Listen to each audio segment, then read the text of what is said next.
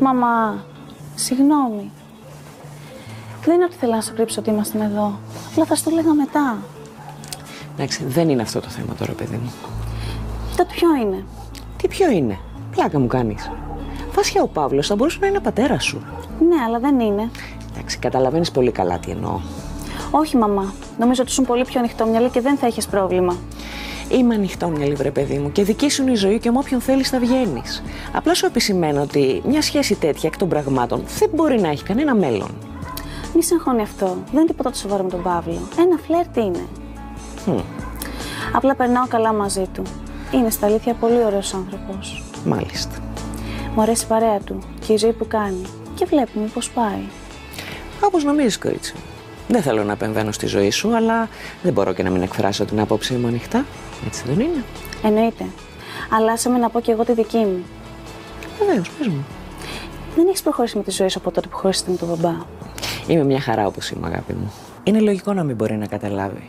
Όταν περνάνε τα χρόνια, το σώμα αλλάζει. Αλλάζει πολύ. Σχεδόν δεν το αισθάνεσαι δικό σου.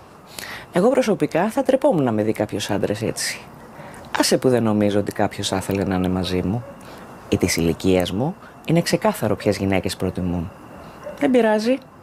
Έχω τόσο πολλά πράγματα να κάνω και περνάω μια χαρά και μόνη μου. Έφτασε η στιγμή που ο Παύλος αδειμονούσε, έστω κι αν δεν είχε φανταστεί ότι οι συνθήκες θα είναι έτσι. Ο Παύλος προσπαθεί και βάζει τα δυνατά του να εντυπωσιάσει τη Βάσια με όλη του την νεανική ενέργεια.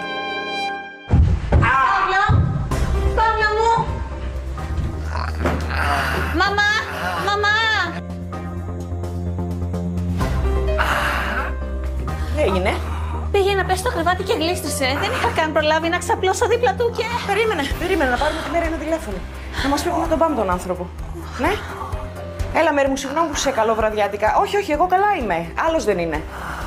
Τι να σου λέω τώρα, τι να σου εξηγώ. Ένας φίλος έπεσε και είχε ένα τύχημα. Νομίζω ότι κάτι έχει σπάσει.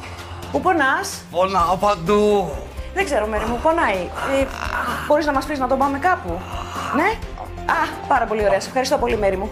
Λοιπόν, υπάρχει ένας ορθοπαιδικός εδώ κοντά και θα τον ειδοποιήσει να μας περιμένει, έτσι. Έλα να τον σηκώσουμε. Μα τι έτυχε αυτό το Σαββατοκύριακο; Ελπίζω να γίνει γρήγορα καλά ο Παύλος. Αν και έτσι που σφαδάζει, δεν τον βλέπω πολύ καλά. Δίκιο είχε η μάνα μου. Δεν τα είχα σκεφτεί αυτά της ηλικίας. Σκέψου να μου μένει στα χέρια. Το Σαββατοκύριακο δεν έμελε να εξελιχθεί ούτε όπως το περίμενε η Χαρά, ούτε όπως το περίμενε η Βάσια. Με μεγάλη δυσκολία μάνα και κόρη προσπαθούν να μεταφέρουν τον Παύλο στο αμάξι της Χαράς για να τον πάνε στο ιατρικό κέντρο.